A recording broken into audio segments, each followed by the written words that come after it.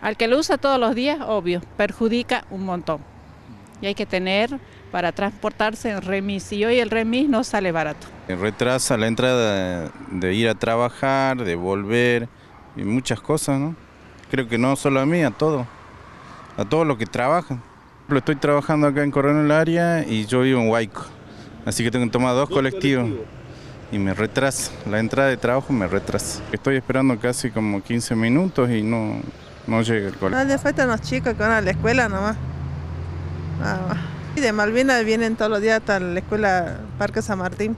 Tendrían que ver la forma de poder este, charlar, digamos, con el gobierno, llegar a un acuerdo para poder este, que no perjudique a los eh, usuarios, ¿sí? Así que ¿Usted toma todos los días el colectivo? sí, yo tomo todos los días. Así que a mí si llegan a hacer un paro así, ya no puedo ir a trabajar. Me parece bien por la gente que va a trabajar, pero creo que deberían darle una solución, ya que creo que todos estamos en la misma situación y, y necesitamos toda una solución para los que trabajan y también para ellos. No, la verdad que afecta mucho a los usuarios, pero tiene- debe haber coordinación entre los gremios y las empresas, ¿no?